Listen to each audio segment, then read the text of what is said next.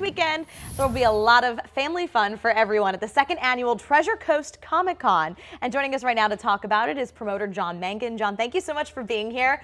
I said, where's your Batman costume?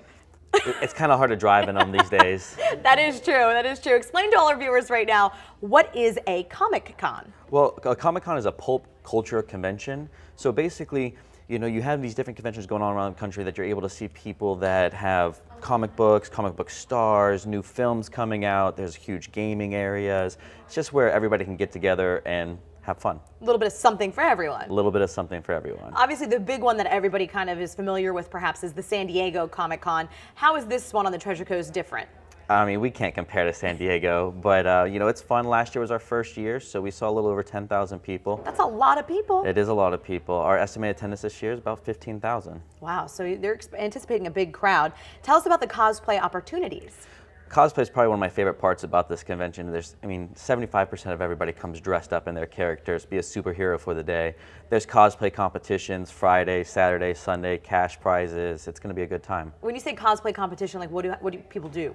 They dress up as their their favorite characters. So on stage, you'll see a Harley Quinn next to a Pikachu. You never know what you're going to see. So it's about the costume and appearance. It's not necessarily like actually attempting to be Batman. Correct. No, there's no jumping off buildings. Thank you. That's good. So don't try that at home. Now, you do have some special guests this year. Who are they? Uh, my personal favorite that we have coming in this year is uh, uh, Billy West. He's the voice of Ren and Stimpy. He's the voice of Doug. Uh, we have Kristin Bauer, who's um, most people know from Pam in True Blood. And of course, Marina Sirtis, who is from Star Trek Next Generation. So you're just as big as San Diego. You're having the, the stars come out. This that's, is exciting. That's the fun part.